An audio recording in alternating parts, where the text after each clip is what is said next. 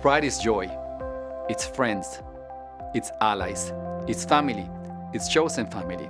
It's a community that stands to protect our rights. Pride is rage, but it's also resilience. It's freedom. It's a space where you're free to be yourself without fear of judgment, rejection, discrimination, or hatred.